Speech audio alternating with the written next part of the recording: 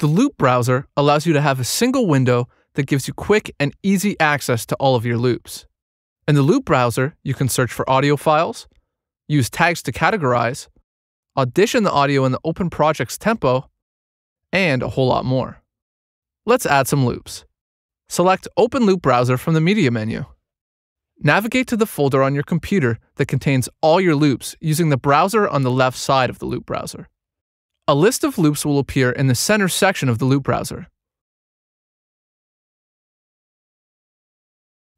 Clicking on one of them will display it graphically below in the scope window. Click the Start button to listen to the loop.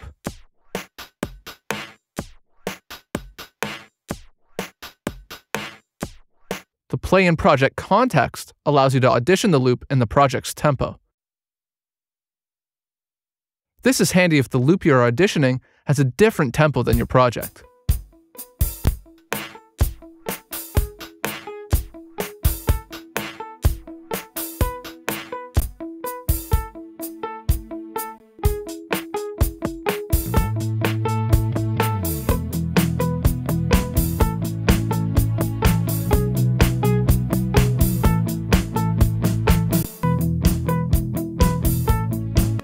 If you have many loops, you can search for them using the search field.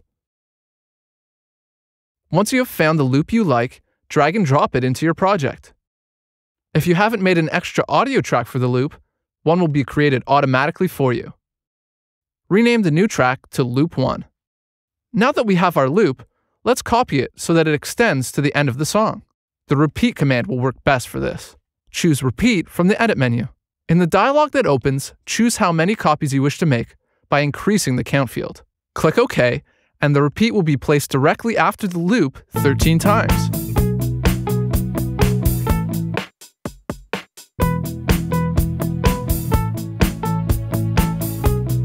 We are now going to add one more loop.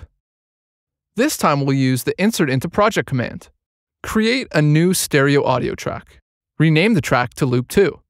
Make sure this track is selected as Insert into Project works using a selected track. Position the cursor where you would like the loop to be inserted. In our case, let's choose bar 9.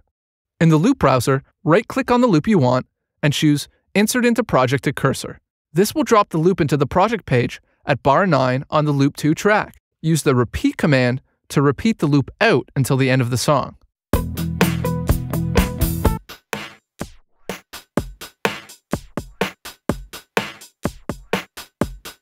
That should give you a quick overview of the Loop browser and its functions.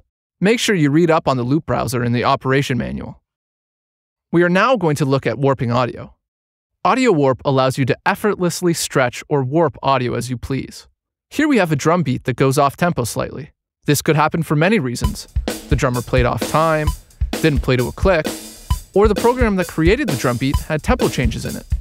We are going to make this drum beat follow a steady tempo. In fact, we will warp each beat until it lines up with the bars and beats of Cubase. Double-click on Audio Warp Drum Beat so that the sample editor window opens. Click on the Warp Samples tool.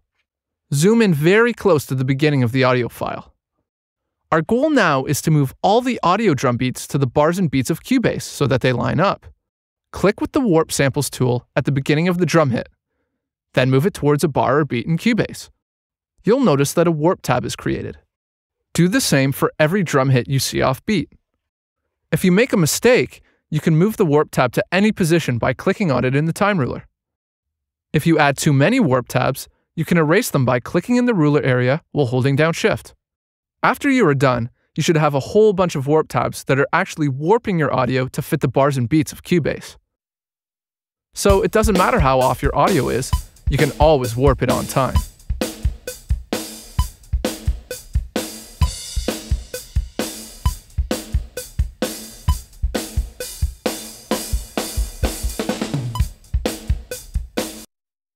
Now let's do the same thing, but with hit points. This will speed up our process of warping the audio. Hit points can also be used for finding the groove of an audio file, slicing audio for Rex file type purposes, quantizing audio, and more. Double-click on Hit Points drum beat so that the sample editor window opens. Right-click near the top of the sample editor's title bar and deselect Preview, View Options, and Selection Controls.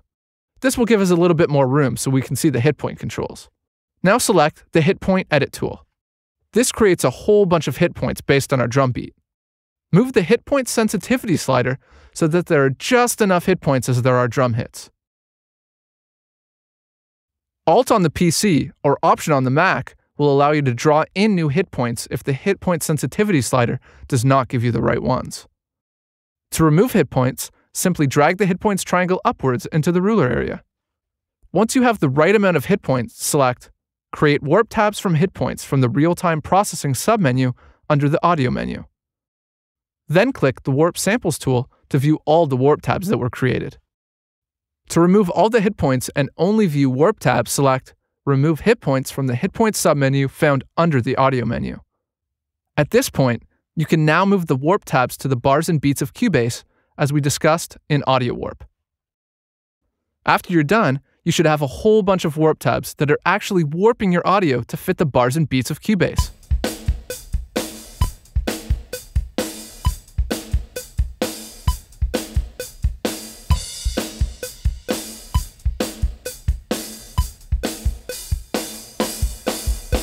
So it doesn't matter how off time your audio is, you can always warp it on time.